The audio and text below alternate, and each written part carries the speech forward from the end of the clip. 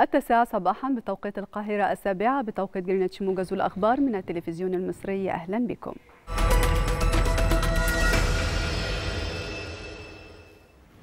تقدم رئيس الهيئة الوطنية للإعلام حسين زين بالتهنئة للرئيس عبد الفتاح السيسي بمناسبة العام الميلادي الجديد. وأعرب رئيس الهيئة الوطنية للإعلام عن أمنيته بأن تعم مصر بالاستقرار والأمن والأمان في ظل القيادة الوطنية الحكيمة وتستكمل مسيرة البناء والتنمية في المجالات كافة وأن تحقق أيضا أهدافها وتحرز المزيد من التقدم والازدهار وتسير بخطى ثابتة نحو تحقيق آمال وتطلعات شعب مصر مصر العظيم. قال الرئيس الأوكراني فلاديمير زيلنسكي إن الدفاع الجوي لبلاده سيصبح أقوى وأكثر فعالية في العام الجديد مؤكدا أن قوات بلاده حافظت هذا العام على دفاعاتها الجوية لتصبح أقوى من أي وقت مضى. وأشار الرئيس الأوكراني إلى أن الدفاع الجوي لبلاده يمكن أن يصبح الأقوى في أوروبا كما أنه سيكون ضمانا للأمن ليس فقط لأوكرانيا ولكن أيضا للقارة بأكملها. And this means only one thing. Russia can cross قال النائب الأول للمبعوث الروسي الدائم لدى الأمم المتحدة ديمتري بوليانسكي إن إمدادات الأسلحة الغربية لأوكرانيا تجعل من المستحيل العودة إلى العلاقات السابقة معهم بعد انتهاء العملية العسكرية الخاصة. وقال المسؤول الروسي إن موسكو لا يمكنها التغاضي عن حقيقة أن الغرب يزود كييف بالأسلحة المستخدمة للقتل في دونباس وشبه جزيرة القرم وفي أجزاء أخرى من روسيا. They are planned to قال رئيس مجلس دينيبرو بتروفسك الإقليمية ميكولا لوكاشوك إن القوات الروسية قصفت مدينة نيكوبول بمنطقة دينيبرو بتروفسك بالمدفعية الثقيلة. وقال المسؤول الأوكراني إن المنطقة شهدت يوما آخر من القتال المضطرب مشيرا إلى عدم وقوع ضحايا جراء القصف.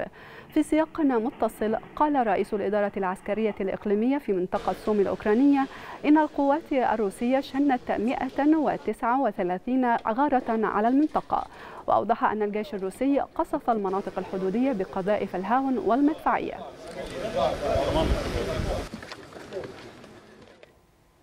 قال جيش كوريا الجنوبية إن كوريا الشمالية أطلقت ثلاثة صواريخ باليستية باتجاه البحر الشرقي شبه الجزيرة الكورية. وذكرت هيئة الأركان المشتركة في كوريا الجنوبية أن الصواريخ الباليستية الثلاثة قصيرة المدى جرى إطلاقها من مقاطعة هوانجهاي الشمالية جنوبي العاصمة بيونغيانغ. وقال خفر السواحل اليابانية إن كوريا الشمالية أطلقت ما قد يكون صاروخا باليستيا وأرسل شعارا بشأن صاروخ آخر. وذكرت هيئة الإذاعة والتلفزيون اليابانية أن صاروخا ثانيا أطلقته كوريا الشمالية سقط على ما يبدو خارج المنطقة الاقتصادية الخالصة لليابان.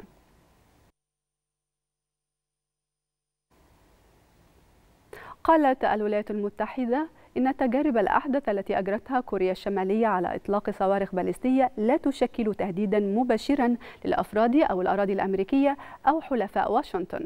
وأكدت القيادة الأمريكية في المحيطين الهندي والهادي في بيان إن التزامات الولايات المتحدة بالدفاع عن كوريا الجنوبية واليابان ما زالت صارمة.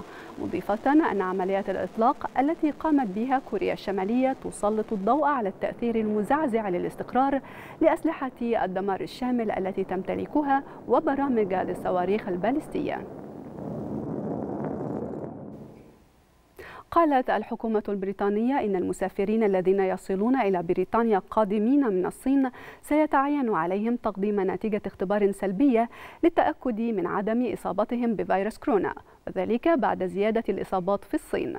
وقالت وزارة الصحة البريطانية إنه بدءا من من الخامس من يناير سيتعين على المسافرين القادمين من الصين تقديم ما يثبت سلبية نتيجة اختبار يجرى خلال يومين على الأكثر قبل مغادرة الصين. وأضافت الوزارة أن شركات الطيران سيتعين عليها فحص جميع الركاب القادمين من الصين للتأكد من نتائج الاختبارات مع عدم السماح للركاب بالصعود على متن الطائرات دون تقديم نتيجة الاختبارات السلبية.